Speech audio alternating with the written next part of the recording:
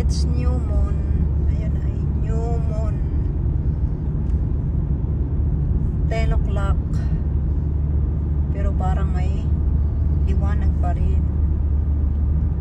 New moon.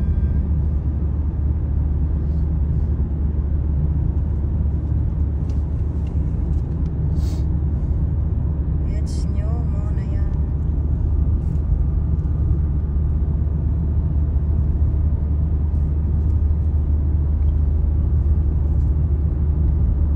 Yan yung ganda ng parang may sunset pa doon sa kabilang country na yun sa kabila.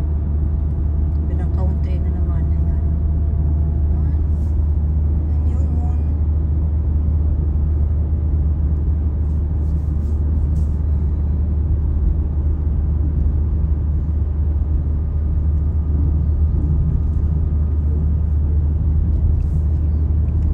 Coming home na tayo. Galing tayo ng trabaho. Working, working tayo.